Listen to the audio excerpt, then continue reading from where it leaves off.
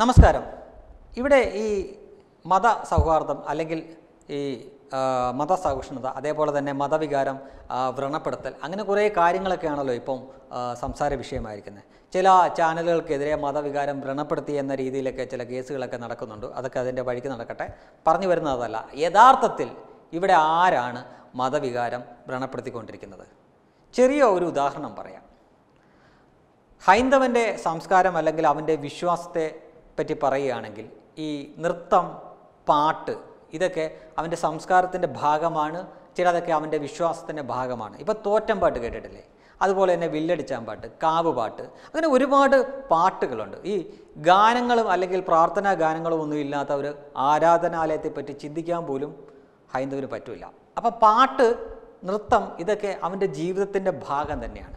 അങ്ങനെ ഇരിക്കുമ്പോൾ മറ്റൊരു കൂട്ടർ വ്യത്യസ്തമായിട്ട് ഒരു അഭിപ്രായം പറയുന്നു. അതായത് ശരിക്കും പറഞ്ഞു കഴിഞ്ഞാൽ ഈ കൂട്ടരുടെ മതത്തെ വ്രണപ്പെടുത്തുകയാണ് ചെയ്യുന്നത്. പക്ഷേ അവരുടെ മതം വളർത്താൻ വേണ്ടിയിട്ടാണ് പറയുന്നത്. അപ്പോൾ ആരാണ് ഇവിടെ മത വികാരം വ്രണപ്പെടുത്തുന്നത് എന്നാണ് തെളിവ് സഹിതം ഞങ്ങൾ കാണിക്കാൻ പോകുന്നത്. നിങ്ങൾ ഈ വീഡിയോ കണ്ടു നോക്കുക പാട്ടുകൾ വ്യഭിചാരത്തിന്റെ മന്ത്രമാണ്. പാട്ടുകൾ കേൾക്കുമ്പോൾ വ്യഭിചാരത്തെ പറ്റി ഓർമ്മ വരും. ആണിനും പെണ്ണിനും ഓർമ്മ വരും. സിനിമാ പാട്ടുകൾ അതാ പഠിപ്പിക്കുന്നത്. റിയാലിറ്റി ഷോകളിൽ പാടുന്ന പാട്ടുകൾ അതാണ്. വ്യഭിചാരത്തിലേക്ക് ഒരു അന്യ പെണ്ണിനെ ഒരു പുരുഷന് പ്രാപിക്കാനോ ഒരു അന്യ പെണ്ണിന് പുരുഷനോട് സ്നേഹമുണ്ടാകാനോ പ്രേമമുണ്ടാകാനോ ഈ പാട്ടുകൾ മനസ്സിലേക്ക് ചലനം വരുത്തുന്നില്ലേ? ഓഹോ അപ്പോൾ ഇതോ?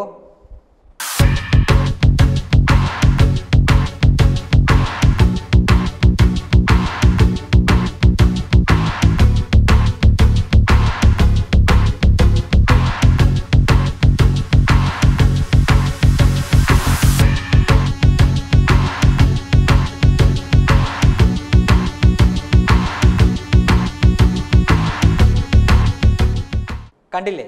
പാട്ടും നൃത്തവും വ്യഭിചാരത്തിന് പ്രേരിപ്പിക്കുന്നു എന്ന് ഒരു കൂട്ടർ പറയുമ്പോൾ അവരുടെ കൂട്ടത്തിൽ തന്നെയുള്ള മറ്റൊരു വിഭാഗം പാട്ടും നൃത്തവും ചെയ്യുന്നത് നമ്മൾ തന്നെ കാണുന്നു.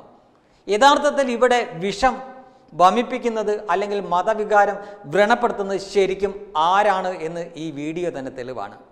ഇതൊക്കെ കണ്ടിട്ടും കണ്ടില്ല എന്ന് നടിക്കുകയും എന്നാൽ ഇതിനെതിരെ ആരെങ്കിലും പ്രതികരിച്ചാൽ അവരെ പിടിച്ച് മതവികാരം വ്രണപ്പെടുത്തി എന്ന കാരണത്താൽ കേസെടുക്കുകയും അറസ്റ്റ് ചെയ്യുകയും ചെയ്യുകയാണ് നമ്മുടെ നാട്ടിൽ സംഭവിച്ചുകൊണ്ടിരിക്കുന്നത്.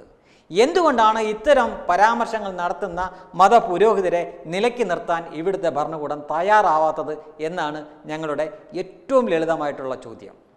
ഇത്തരം മതവികാരം വ്രണപ്പെടുത്തുന്ന ആളുകൾ മയക്കിംഗ് വെച്ച് കെട്ടി അതിന്റെ മുന്നിൽ കിടന്നുകൊണ്ട് ഇത്തരം വിഷം സ്പ്രെഡ് ചെയ്യുമ്പോൾ അതിനെതിരെ പ്രതികരിച്ചു പോയാൽ പ്രതികരിക്കുന്നവനെതിരെയാണ് ഇവിടെ കേസെടുക്കുന്നത്. എത്ര കാലം നിങ്ങൾക്ക് ജനങ്ങളെ പറ്റിച്ച് ഇങ്ങനെ ഭരണം നടത്താൻ പറ്റും? ഇത് മാത്രമാണ് ഞങ്ങളുടെ സംശയവും ചോദ്യവും. Web desk Tatwamayi news.